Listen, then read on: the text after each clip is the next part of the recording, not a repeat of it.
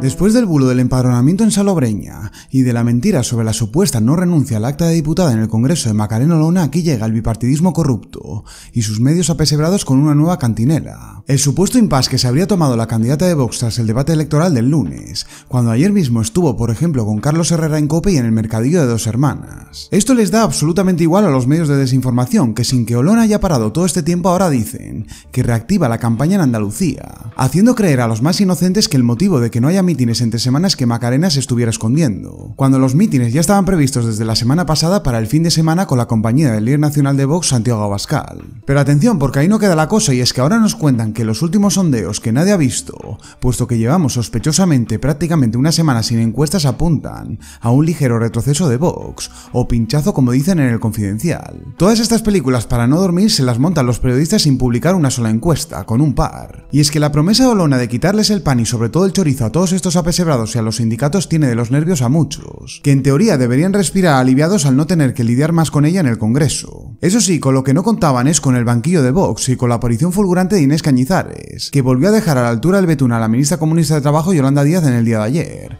como ha hecho durante tanto tiempo Macarena, que por cierto, para militar en un partido machista ha dejado bien rodeado de mujeres e Iván Espinosa Los Monteros en el Congreso. Pues bien, a pesar de que muchos intenten manipular contra la candidata de Vox, los nervios están a flor de piel, como veíamos ayer mismo con los insultos que tuvieron que soportar en Cádiz los militantes de Vox en una mesa informativa. Mientras que por otro lado un militante del Partido Popular rompía su carnet de afiliado delante de Macarena Olona en el mercadillo de dos hermanas. Macarena, por cierto, que ha conseguido ni más ni menos que 20.000 seguidores más en la red social Instagram en menos de tres días. Desde luego que si de verdad la candidata de Vox se está hundiendo como dicen los medios de desinformación, nos encontramos ante el hundimiento más curioso de la historia. Eso sí, curiosamente, el que nunca se hunde es el candidato del Partido Popular Juanma Moreno Bonilla, que en el día de ayer acudía a la misma explotación ganadera que en las elecciones de 2018, a hacerse una foto con su supuesta vaca talismán, que le llevó a conseguir los peores resultados del Partido Popular Andaluz en su historia, a pesar de que gracias a Vox fuera investido presidente de la Junta de Andalucía. La manipulación y la desesperación respecto al partido liderado por Santiago Abascal ha llegado al punto de que en el Partido Popular han decidido cambiar el color azul de sus carpas informativas por el verde,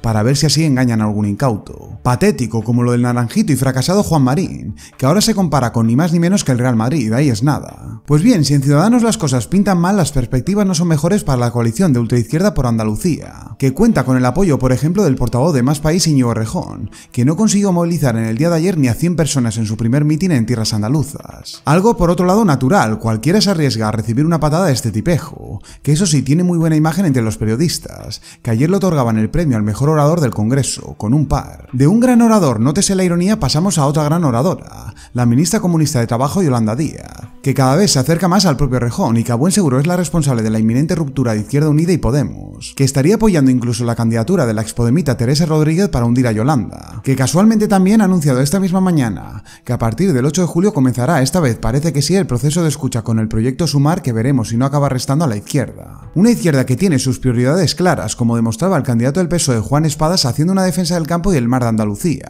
de donde evidentemente se nutren de jabugo del bueno y marisco de calidad para sus actos, así cualquiera. Eso sí, de la concejal del PSOE de Almonte condenada a cuatro años y medio de prisión por mangar subvenciones de los parados no dicen ni pío, ni él ni los medios de comunicación, que a buen seguro restarán importancia también al nuevo lío en el que nos ha metido Pedro Sánchez, ni más ni menos que la ruptura de las relaciones con Argelia tras la cesión del Sáhara a Marruecos, congelando así el comercio exterior con España desde hoy mismo. Recordemos lo que decía Sánchez de las relaciones de nuestro país con Argelia hace dos meses. Nosotros eh, con Argelia tenemos también unas extraordinarias relaciones, unos socios que son aliados en múltiples ámbitos y que estoy convencido de que vamos a seguir siéndolo durante los próximos años. Una nueva tropelía más de esta pandilla de incompetentes, cuyos primeros efectos ya se empiezan a notar con una nueva oleada de inmigración ilegal, que comenzaba ayer con la llegada de seis pateras a las Islas Baleares procedentes del país argelino, que coincide casualmente con la presentación de la organización mafiosa Open Arms de su barco más grande, con capacidad para mil personas de estas a las que no les gusta demasiado el jamón. Esto no parece importarle demasiado al presidente del gobierno, que en el día de ayer se mostraba más nervioso que nunca en el Congreso.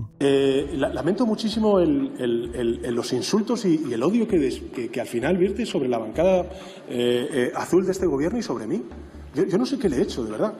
pero solamente, solamente insulta. Insulta, señoría. Si es que no para de insultar.